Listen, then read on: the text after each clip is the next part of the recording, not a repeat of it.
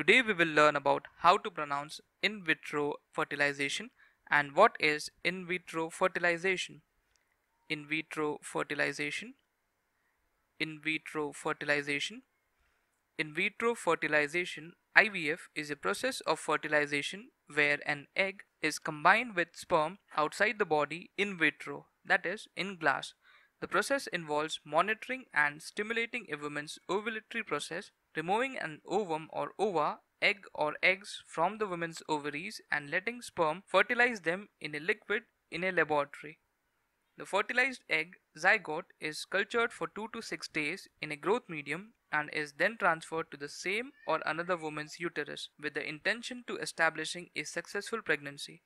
IVF is a type of assisted reproductive technology used for infertility treatment and gestational surrogacy in which a fertilized egg is implanted into a surrogate's uterus and the resulting child is genetically unrelated to the surrogate. Some countries ban or otherwise regulate the availability of IVF treatment, giving rise to fertility tourism. Restrictions on availability of IVF include costs and age to carry a healthy pregnancy to term. IVF is mostly attempted if less invasive and expensive options have failed or are unlikely to work. The first successful birth of a child after IVF treatment, Louise Brown, occurred in 1978. Louise Brown was born as a result of natural cycle IVF where no stimulation was made. Robert G. Edwards was awarded the Nobel Prize in Physiology or Medicine in 2010, the physiologist who co-developed the treatment together with Patrick Steptoe. Steptoe was not eligible for consideration as the Nobel Prize is not awarded posthumously.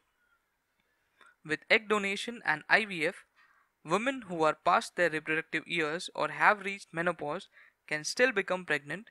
Adriana Iliescu held the record as the oldest woman to give birth using IVF and donated egg when she gave birth in 2004 at the age of 66, a record passed in 2006. After the IVF treatment, many couples are able to get pregnant without any fertility treatments. In 2012, it was estimated that 5 million children had been born worldwide using IVF and other assisted reproduction techniques.